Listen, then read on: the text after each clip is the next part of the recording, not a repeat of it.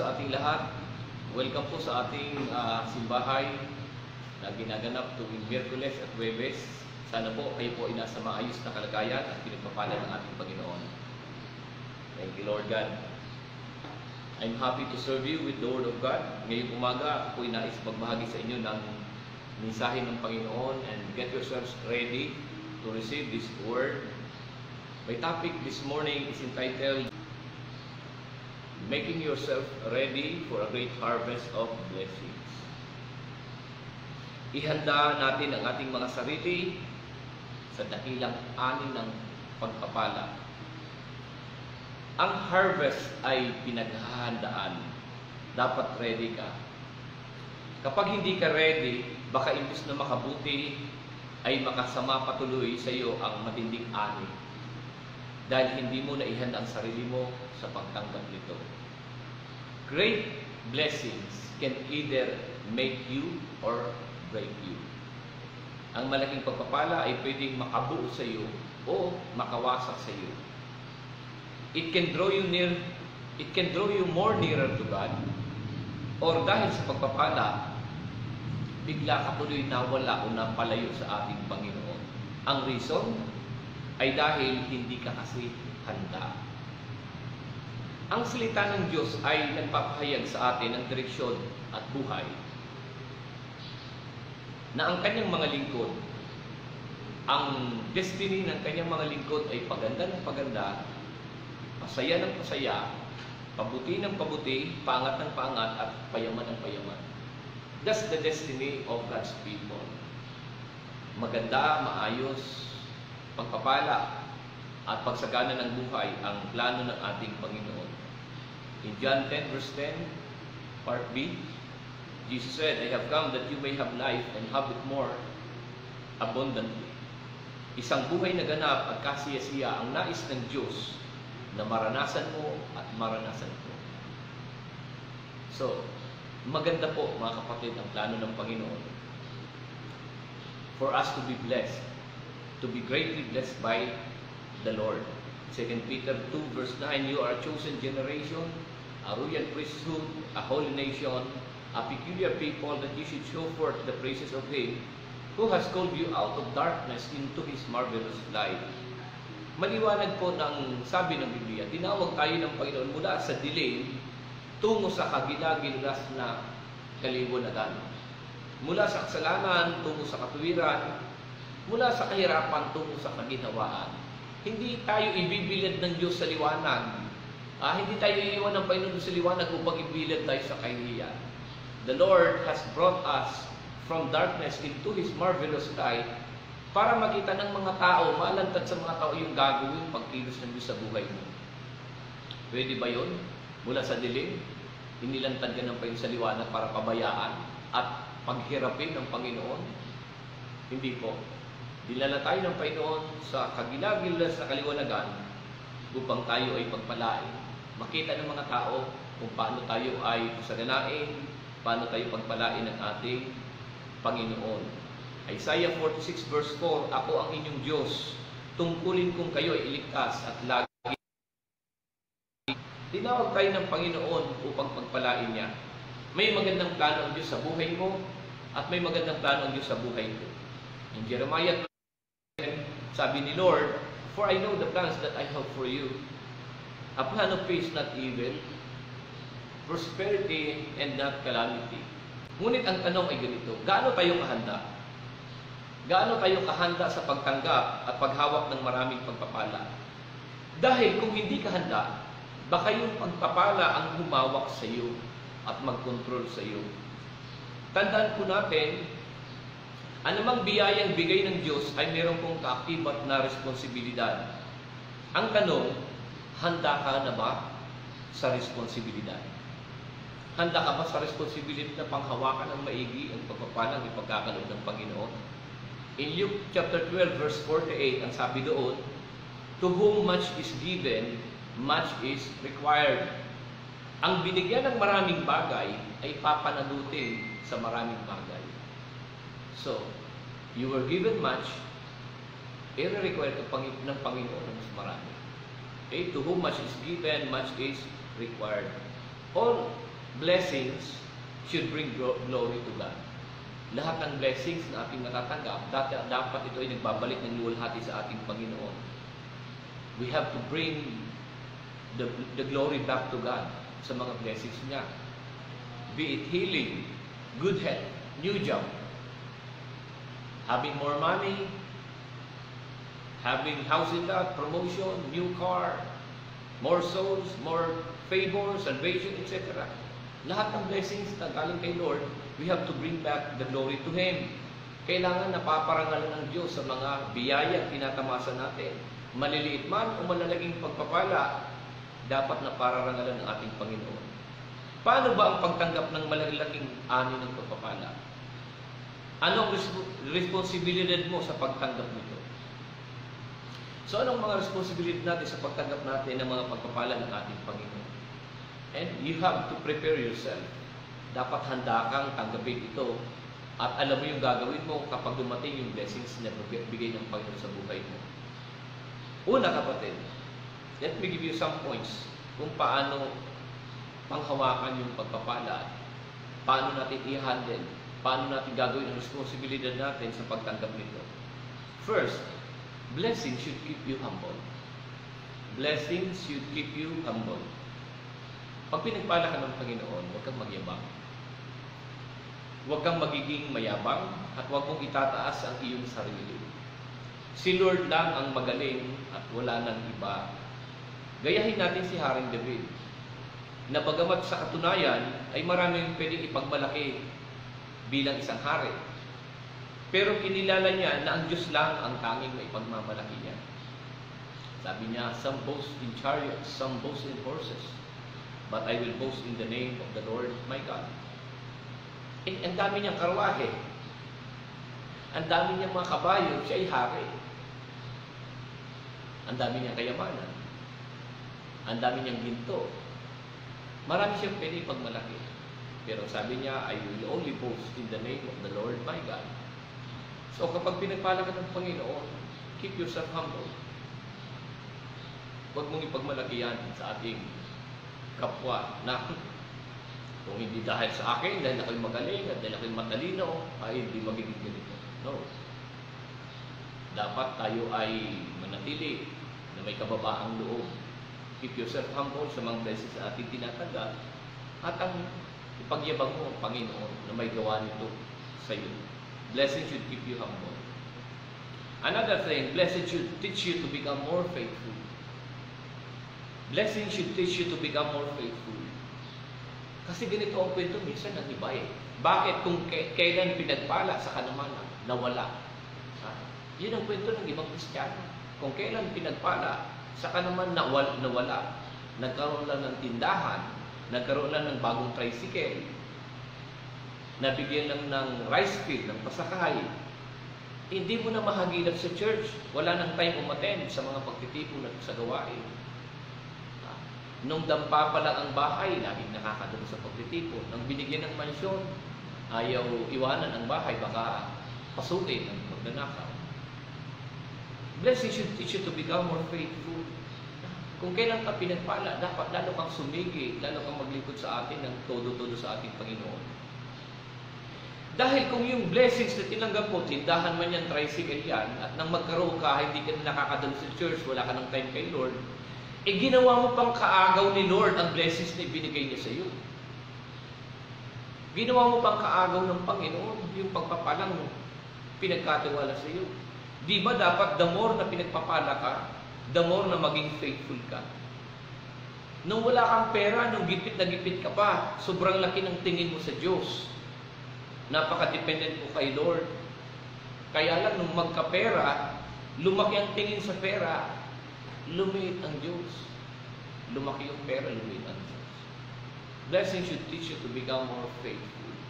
This is just to uh, warn you, my dear brothers and sisters. Kasi alam ko, pagkakatiwala tayo ng Panginoon ng mga malalaking pagpapala, dapat ready po tayo. Okay? Blessing should teach you to be become humble, to be more humble, to be more faithful. Pangatlo, blessing should teach you to become more in love to the blessed. Okay?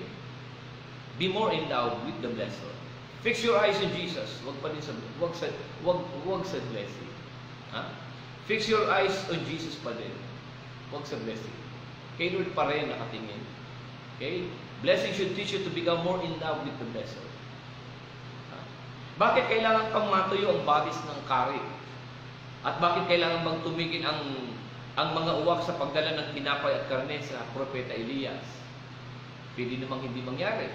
Pwede namang hindi matuyo yung batis. Pwede namang tuloy-tuloy ang pagdala ng uwak ng mga tinapay at karne sa propeta. Pero bakit kailangan tumigil at bakit kailangan matuyo yung batis? Baka kasi ma-indab na si propeta Elias sa blessing at makalimutan na ang blessor. Makalimutan na ang source of blessing. Don't get in love with the blessing. Be more in love with the blessor. Uh, do not seek the gift, you seek the giver. Do not just seek His hand, you seek His face. Sabi nga sa kanta, ah, dapat si Lord pa din ang number one. Ah, di ba? Kinakanta natin yun. Sa aking buhay, ikaw ang number one. Sa aking puso, you're the only one. Dapat si Lord pa rin ang number one, kapatid. Okay? So, blessing should teach you to become more in love with the blessor. Not with the blessing. Si Lord pa din, sa Kanya pa din tayo nakatingin, Siya pa din ang mahal natin, Siya pa din ang numero uno sa buhay po natin, number one priority ng buhay po natin. Pang-apat, be a good steward of the blessings. So, when, when the Lord bless you, be a good steward of the blessings na pinagkatiwala sa iyo. Pagyamanin mo, ah, asikasuhin mo. 1 Corinthians 4 verse 2, Moreover, it is required in stewards that a man be found faithful. Do not misuse your blessing. Do not misuse your blessing and do not abuse the blessing. Maging mabuting katiwala sa mga biyaya na pinagkaloob ng Panginoon. Be a good steward. Eh, binigyan ka nga, binigyan ka nga ng bahay, hindi mo naman nil, nililinisan. Ah, eh, insektohin ka. Pupunuin ka ng daga, ipis at lamok. Bakit? The Lord has entrusted you a beautiful house and you never clean it. Hindi mo naman nililinis. Hindi ka mabuting katiwala. Dadalaw sa iyo, lamok, ipis, daga, etc. Sabi, hinatagan ka ng baboy, diri mo mangging babaho. Ay, di mabansot yan. Eh, pinagkalubang ka ng alaga, aalaga ang baboy, di pakainin mo mabuti, alagaan mo mabuti. So, may tinatanggap kang pera. May tinanggap kang, may tinatanggap kang pera, pero ipansusugan mo lang naman. Ipangtutuma mo lang naman. Ah, so, you, you, you are not a good steward of the blessings. Yung pera tinatanggapin mo, hindi pare pang sugal o pang inom ng alak. Ah, may mga anak ka, ah, pinagkalumag ka ng paino ng, ng anak, hindi, hindi mo naman inaalagaan, pinapabayaan. Ah, hindi mo naman kinakalinga. Eh yung iba nga dyan, nangangarap magkaroon ng anak. Ikaw, pinagkalumag ng Panginoon ng anak, pero pinababayaan mo at hindi mo iniintindi yung pangangailangan ng mga anak mo. Be a good steward ng mga blessing sa atin ng Panginoon. May sipilyo ka, hindi mo naman ginagamit. Meron kang naakay, hindi mo naman inaalagaan. Hindi mo naman inaalalayan yung mga naakay. Use your blessings for the right cause. Use your blessings and do not misuse it. Pag pinagpala ka ng Panginoon, nako, support your family. Support your church. Pay your debt. Kung anong mga pinagkakautangan mo, bayaran mo. Ha? And pay your obligation. Kung ano man mga dapat mong uh, intindihin at dapat mong uh, bayaran ay harapin mo. So, pag pinagpala ka ng Panginoon, gamitin ang pagpapala sa tama. Okay? Panglima, blessing should teach you to become more generous. Blessing should teach you to become more generous. Di rin maging hagas sa Diyos at sa kapwa. Ang pagpapala ay dapat magturo sa atin na tayo maging generous. Maging bukas ang kamay. Sabi ng Biblia, ang mga bukas na kamay ay lalong yumayaman, ngunit naghihirap ang mga tikom na mga kamay. So, when the Lord bless you, Be more generous. Huwag mong pagkakaitan ang iyong kapwa. At lalo na ang ating Panginoon, huwag mong pagkakaitan ang pagpapala. Galing sa Kanya po yun. How to be generous. Okay? Give your tithes and offering with a cheerful heart. So dapat, binabalik mo yung para kay Lord. Ha? Give your tithes, pay your tithes and your offering with a cheerful heart. Support the kingdom, the church. You bless God's people, God's servants. You bless your fellow believers. Sabi ng Biblia, gumawa tayo ng mabuti higit sa lahat sa mga kapatid sa pananampalataya. Dahil tayo iaani kapag tayo magsasawa sa paggawa ng mabuti. Bless your fellow believers. Bless the poor and the needy. Yung mga mahihirap, yung mga nangangailangan ng tulong, ay huwag nating pagkaitan. Abutan natin ng pagpapala yung mga mahihirap at yung mga may pangangailangan. Hanggat alam mong ito'y gagamitin sa kabutihan at kapurihan ng Panginoong Diyos, gawin ito ng bukal sa puso. Be generous. Habang may pagpapala kang tinatanggap, ay lalo mo pang, lalo ka pang magtanim ng magtanim para mas marami ka pang aanihin. 2 Corinthians 9, 6-7, tandaan ninyo ito, ang nagtatanim ng kakaunti ay aani ng kakaunti. Ngunit ang nagtatanim naman ng marami ay aani ng marami. Ang bawat isa ay dapat magbigay ayon sa sariling pasiya, maluwag sa loob at hindi napipilitan lamang sapagkat iniibig ng Diyos ang kusang nagbibigay ng may kagalakan. Always be willing to extend help to others, just like the Lord Jesus Christ. Dapat bukas lagi ang ating palad sa pagtulong sa ating kapwa. Ano pa? Use the blessings to win souls for Christ. Gamitin mo ang blessing niya na, na, na bigay ng Panginoon to win more souls for Christ. The book of Proverbs says, He who wins souls is wise. Prophet Daniel says, He who wins souls is a shining star. And Jesus said, He who wins souls will receive a heavenly reward. Gamitin mo ang pagpapalang meron ka para sa kingdom cause to win souls for, for the Lord Jesus. Lucas 16.9 At nagpatuloy si Jesus sa pagsasalita, Kaya sinasabi ko sa inyo, gamitin ninyo ang kayamanan ng mundong ito sa paggawa ng mabuti sa inyong mga kapwa, upang kung maubos na yun ay tanggapin naman kayo sa tahanang walang hanggan. Gamitin mo ang blessings na bigay ng Panginoon sa buhay mo para sa tahanang walang hanggan. Use your money to win souls for the Lord. Sa paanong paraan? Pamasahian mo yung mga walang pamasahe. Uh, pamasahin mo ang kapwa mo para madala mo sa gawain. Kung kaila, kailangan mong madala, kung kailangan mong pakainin muna. Sabihin ko sa kanya, Lian, kain tayo ng halo-halo. Ah, libre kita, i-treat kita sa Jollibee, i-treat kita ng halo-halo, i-treat kita ng ganito. Pero attend muna tayo ng church celebration. Use your wisdom and use your money to win people. Kung kailangan pakainin, kailangan i-bless para ma-win, gawin mo. Ah, kung may sasakyan ka, may tricycle ka, ay paggamit mo kay Lord para hakutin, pasakayin yung iba. The point is, use your material blessings to win people for the Lord para sa glory ng Panginoon. Because he who wins souls is wise, and you will have a heavenly re- reward.